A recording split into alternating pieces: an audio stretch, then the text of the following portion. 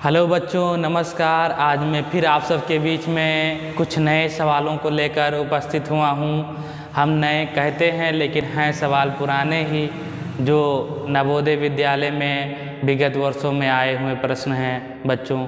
ठीक है तो इसलिए ऊपर लिख दिए हैं, विगत वर्षों में पूछे गए प्रश्न। ठीक है, नवोदय विद्यालय में बच्चों। ठीक है तो हमारा ये प्रश्न जो हमारा है, बारह नंबर, इसके पहले जितने भी प्रश्न हैं करवाए जा चुके हैं। ठीक है? तो हमारा किस चैप्टर का ये है? Four fundamental operation on whole number बच्चों, चार पूर्ण संक्रियाओं पर आधारित मूलभूत संक्रियाएँ। इससे हम लिए हैं क्वेश्चन नंबर बारह। ठीक है? बच्चों तो चलिए इसको समझते हैं, कैसे इसको सॉल्व किया जाएगा और इसका आंसर क्या आएगा। तो पहले देखिए, यहाँ पर लिखा हुआ है, एक स्कूल में 26 कमरे हैं। कितने कमरे हैं बच्चों? 26 कमरे हैं। कमरों की संख्या कितनी है? 26 है, कहेंगे आप 26 है। तो कमरों की संख्या, कमरों की संख्या कितना है? 26 है। कितना है बच्चों? 26 है। इतनी बात समझ में आई? हम लिखते जाएँगे एक एक चीज़ और फिर समझते हुए चलेंगे कि कैसे कहाँ, कौन कहाँ पर आया हुआ है। ठीक है? तो यहाँ पर कमरों की संख्या कितनी है? 26 है। कहेंगे कि हाँ 26 है। और प्रत्येक कमरे में चार पौधे लगाए गए हैं। यानी हर एक कमरे में कितने कमरे हैं? 26 कमरे हैं। और हर एक कमरे में कितने पौधे लगाए गए हैं? चार कमरे लगाए गए चार पौधे लगाए गए एक कमरे में चार पौधे लगाएँगे तो अब 26 कमरे हैं। दो कमरों में कितना हो जाएगा? आठ पौधे लगाए जाएँगे, तीन कमरों में बारह पौधे लगाएँगे, ऐसे ऐसे करके जाएगा 26 26 कमरों में कितने पौधे लगाएँगे? तो 26 से गुणा कर देंगे, आ जाएगा। ठीक है? तो पौधे लगाए गए पौधे, लिखेंगे, लगाए गए पौधे। पौधों की संख्या आ जाएगी दोस्त, बच्चों, पौधों की संख्या कितनी आ जाएगी? 26 गुड़े चार। यानी हम इसको लिखेंगे चार छक चौबीस ठीक है, और चार दुनी आठ और दो दस, एक सौ चार। एक सौ चार क्या है? एक सौ चार पौधे लगाए गए हैं, ठीक है टोटल छब्बीस कमरों में। छब्बीस कमरों में एक सौ चार पौधे लगाए गए हैं, ठीक है। उसके बाद क्वेश्चन कह रहा है कि यदि एक पौधे को दो कप पानी डाला जाता है तो कुल कितने कप पानी सभी पौधों को डाले जाएँगे। आपका यहाँ पर समझना बहुत ज़रूरी है, ठीक है? तो यहाँ पर देखिए, एक पौधे में दो कप, यानी कि कितने पौधे हैं? पौधे हैं 104 देखिए यहाँ पर लिखा हुआ है, कितना? 104 104 पौधे हैं और एक पौधे में अगर दो कप पानी डाला जाता है तो कुल कितने कप पानी होंगे? तो आप कहेंगे कि इसको दो से अगर हम मल्टीप्लाई करते हैं तो आ जाएगा कि कितने कप पानी डाले जाएँगे। तो इसको हम दो से गुणा कर दें, यानी कुल कप कुल कप कितने हो जाएँगे? बच्चों 104 गुड़े दो, यानी 208 208 कप पानी डाले जाएँगे। कितना? 208 कप पानी डाले जाएँगे। ठीक है? बात समझे? तो अगला क्वेश्चन हमारा ये है कि तेरह नंबर क्वेश्चन हमारा है, स्टार के किस मान के लिए? स्टार के किस मान के लिए इतनी संख्या जो दी है, बीच में स्टार हो जाएगा और 11 से पूर्तया पूर्तया क्या है? विभाजित है। तो ये नियम बच्चों बहुत विभाजिता के नियम इसमें लगेगा। तो विभाजिता के नियम हम इसके पहले ही जब क्लास शुरू किए थे तभी हम डाल चुके हैं विभाजिता के नियम।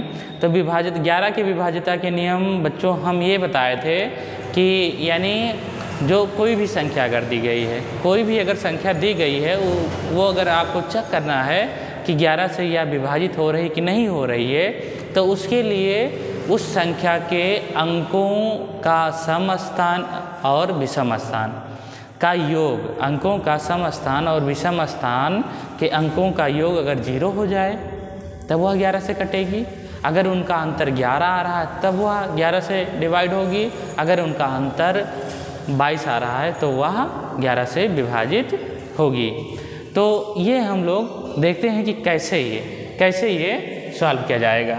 देखिए, ये लिखा हुआ है, छप्पन स्टार आठ, नौ, ज़ीरो। देखिए, ये विषम पे लिखा हुआ है, ये सम पे लिखा हुआ है, ये सम पे लिखा हुआ है, और ये विषम पे लिखा हुआ है। ये ये सम विषम पे लिखा हुआ है, इतना, और ये सम पे लिखा हुआ है। यानी सम अंकों का स्थानीय मान और विषम अंकों का स्थानीय मान यही हमको देखना है।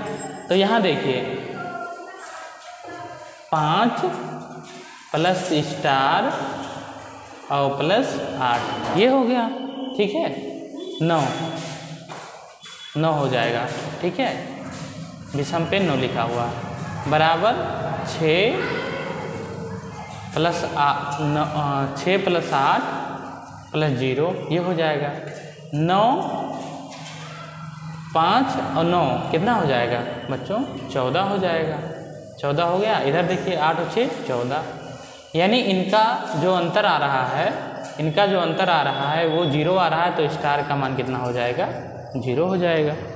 स्टार का मान कितना हो जाएगा? ज़ीरो हो जाएगा। देखिए, ये विषम पे आपका लिखा हुआ है, ठीक है? और ये सम पे लिखा हुआ है। इनके दोनों का अंतर यदि सम आ रहा है, विषम आ रहा है तो यानी इसमें अगर ऑप्शन में ग्यारह दिया होता, देखिए ऑप्शन भी देख लीजिए, अगर ज़ीरो है तो तीन कुछ भी है, ग्यारह अगर हो गया, बाईस हो गया, ये, यानी ये भी ये भी ये भी तीनों कटेगा। दोस्तों, तीनों, अगर तीनों, लेकिन एक इसमें ऑप्शन दिया रहेगा। जो कटेगा आपका।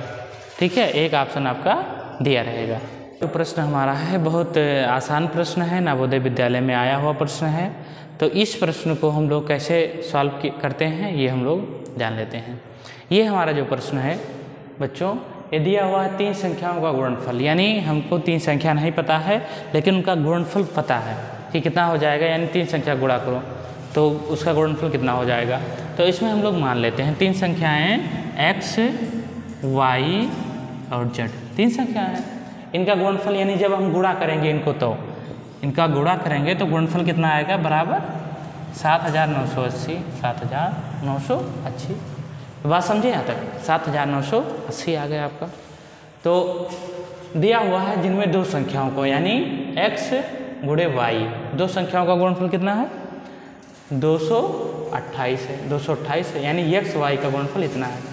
अब तीसरी संख्या आपसे पूछा है तो तीसरी संख्या क्या हो जाएगा? यानी जड क्या हो जाएगा? अगर जड यहाँ से देखा जाए तो सात नौ आठ ज़ीरो बटा दो दो आठ। कैसे? यानी यक्स इधर जब हम इसको लाएँगे नीचे बराबर की साइड में तो बटे में हो जाएगा, भाग हो जाएगा। तो यहाँ देखिए, यहाँ अगर इसको हम लोग काटेंगे तो कितना हो जाएगा? दो से काटिए, क्योंकि सम संख्या दिखाई दे रहे हैं तो दो से कट जाएगा। ठीक है तो ये आ जाएगा। तो मैं इतने सवाल हम लोग लिए इसको सॉल्व किए हैं, और ये अगर समझ में आया हो तो मिलते हैं अगले वीडियो में, तब तक के लिए धन्यवाद।